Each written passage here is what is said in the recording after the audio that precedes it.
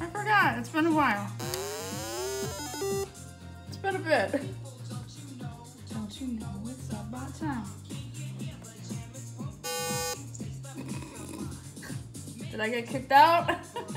Am I gonna get escorted off the plane? Who cares? Oh, woo! You like that? Oop! Ah, I guess you gotta read the instructions. It's not one of my fortes. Eh, eh, eh, Alright. Okay, I got that. Now what? No. There's nothing.